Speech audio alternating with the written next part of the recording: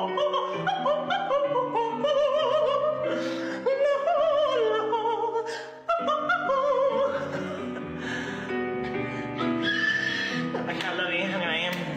love you, my fluffies. Follow me uh, on TikTok.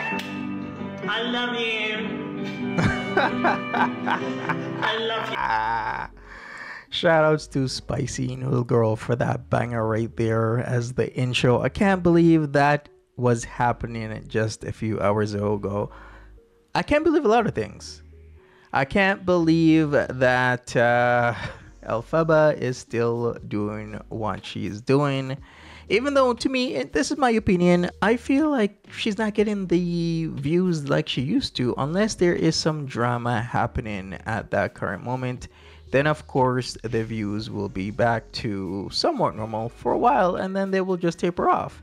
Nobody wants to hear Elphaba sing Defying Gravity for like the millionth time over and over and over and over again. So what is going to happen? Well, CLA tried to help Elphaba, right, by uh, changing directions, you could say, introducing new things. Maybe box battle since the Adro is away, and it seems Elphaba is not having it. And one thing I learned with social media is that you gotta keep reinventing yourself and you gotta keep changing and adding on new things, else you're gonna be left behind.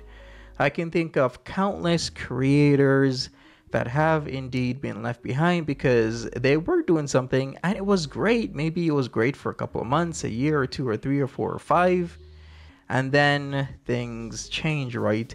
And they didn't adapt and they get left behind. Sometimes you don't adapt right away, and that's okay. You might you might lag behind a little bit, but as long as you see why you are lagging behind and you change immediately to to the new landscape that is social media.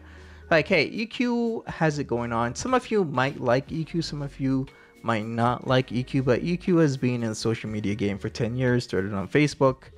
Uh, so she knows what she's doing. In terms of CLA, CLA has been stumbling here and there, but I would think uh, CLA is kind of figuring things out and that the only constant is change in life in all facets. And even with social media the only constant is change. You gotta keep you know collabing with uh, other creators creators that are coming up and some creators are going down. Each day there's something that's happening with a creator. They're either gonna go up go down or stay where they are. Look at what's happening with HSTikkyTokky.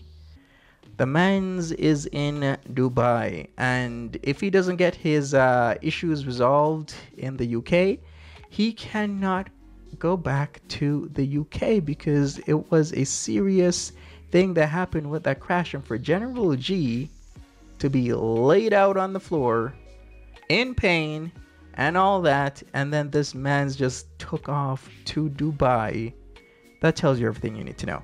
But hey, I digress. Let's get back to Elphaba. So, where do we go from here? We shall see whether or not Elphaba adapts, or maybe she won't, and then she will teeter off into oblivion and not get the views as she was getting before because I do keep an eye on things like this and I've seen where certain creators that are I don't know Elphaba adjacent or not.